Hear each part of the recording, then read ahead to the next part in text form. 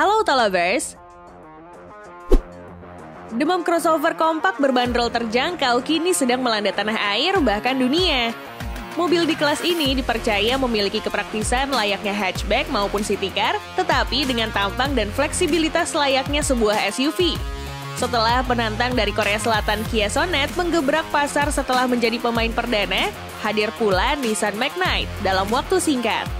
Tak lama berselang, muncul duo Astra yang kini mendominasi pangsa pasar, yaitu Toyota Race dan Daihatsu Rocky. Meskipun merupakan kuda hitam di kancah otomotif Indonesia, rupanya Renault juga tak ingin kehilangan momen ini. Mereka sigap menyiapkan amunisi mereka untuk menggempur pasar yang terus berkembang ini. Tapi apakah mereka sanggup melawan dominasi para pesaingnya yang memiliki nama besar? Video kita kali ini bakal mengulas tuntas mengapa Renault Kiger patut diperhitungkan di kelas ini. Penasaran? Yuk simak videonya!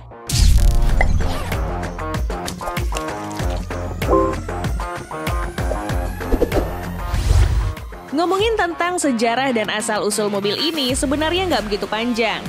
Itu karena mobil ini memang baru menginjak generasi pertamanya alias baru meluncur. Versi konsepnya diperlihatkan akhir tahun 2020 lalu dengan tampilan yang eye-catching namun tetap tangguh. Nggak butuh waktu lama, Renault mengadakan world premiere untuk versi produksinya pada bulan Januari 2021. Kiger menggunakan platform yang sama dengan MPV kompak Renault Triber dan saudara jauhnya yang lebih dahulu meluncur, Nissan Magnite. For your information nih, riset serta pengembangan dari Kiger ini sepenuhnya dilakukan di India dengan kerjasama beberapa insinyur lokal serta insinyur asal Perancis. Jadi wajar aja kalau secara garis besar mobil ini mengikuti selera market India itu sendiri. Selain berbagi platform, mereka bertiga juga berbagi mesin dan transmisi yang sama dengan teknologi turbo tersemat pada dapur pacunya. Namun secara tampilan, Renault berhasil membuat Kiger seperti mobil yang jauh berbeda.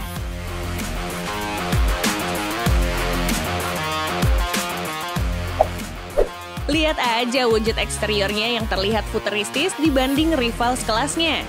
Dari depan, terdapat grill yang menjadi ciri khas produk Renault masa kini dengan logonya yang berbentuk diamond terletak di tengah. Sektor perlampuannya sendiri terdiri dari dua klaster. Di atas ada sebuah LED strip yang berfungsi sebagai daytime running light dan lampu sein, serta di bagian bawah ada tiga buat LED projector sebagai high beam dan juga low beam. Pindah ke samping, terlihat dengan jelas bahwa pabrikan asal Perancis ini berusaha keras untuk menonjolkan sisi maskulin dari mobil ini dengan menggunakan cladding hitam pada fender serta pintu. Jangan lupakan aksesoris roof rail khas SUV sejati serta velg 16 inci dengan finishing two-tone polish. Buritannya sendiri dihiasi stop lamp C-shape dengan lampu LED, serta spoiler yang bentuk atraktif dan bumper dengan model yang tough kelas SUV.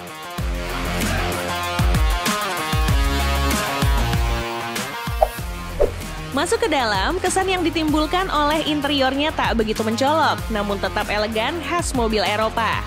Layout dashboardnya diisi oleh kisi AC berbentuk trapezoid baik di kiri kanan maupun di tengah. Sejajar dengan itu, tersedia layar multimedia berdesain floating serta kontrol AC yang masih mengadopsi model no putar. Selanjutnya ada tombol engine start yang letaknya mirip dengan Renault Triber di konsol tengah. Di konsol tersebut juga diletakkan tuas transmisi serta park brake dan lanci penyimpanan tertutup. Menariknya, terdapat sebuah dial yang memiliki fungsi cukup menarik di kelasnya. Tapi kita bahas nanti ya. Berlanjut ke area bagasi, volumenya diklaim menjadi yang terbaik di kelasnya berkat kapasitas yang mencapai 405 liter. Oh iya, Kiger ini mengadopsi konfigurasi 5 seater ya, jadi hanya dua row jok di kabinnya.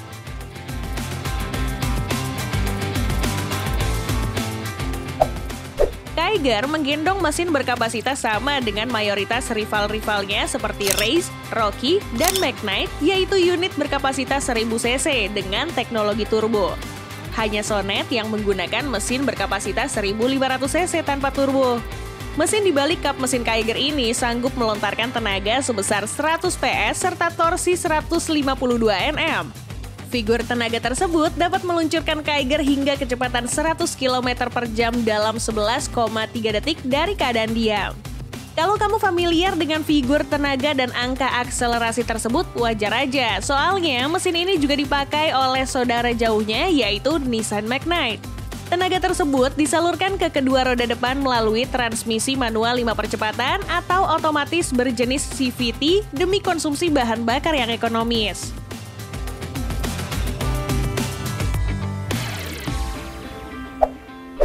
Bicara soal fitur, membawa banyak amunisi untuk bersaing dengan rival-rivalnya. Mulai dari luar, semua perangkat lampu yang dimilikinya telah mengadopsi teknologi LED, baik di depan maupun belakang. Terlebih lagi di interior. Pertama, AC-nya memiliki sistem filtrasi yang dapat menyaring partikel berukuran 2,5 mikron, yang mana itu dapat menjamin udara yang keluar merupakan udara bersih. Kemudian terdapat juga ventilasi AC di row kedua yang nggak dimiliki satupun pesaingnya. Sistem entertainmentnya pun menggunakan layar 8 inci yang sudah support Apple CarPlay dan Android Auto.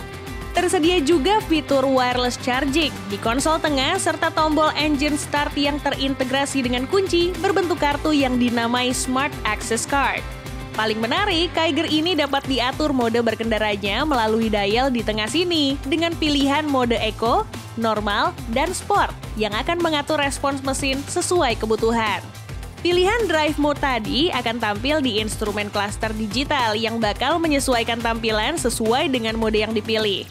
Untuk safety sendiri, Kiger didukung oleh 4 buah airbag, serta sistem pengereman ABS dan EBD.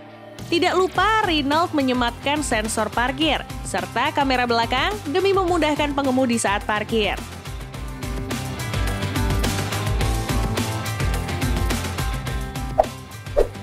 Di India, negara yang pertama kali menjual Kiger ke pasaran domestiknya tersedia dalam empat opsi tipe. Dimulai dari RXE yang merupakan entry level, Dilanjutkan RXL dan RXT sebagai varian tengah, kemudian RXZ sebagai flagship.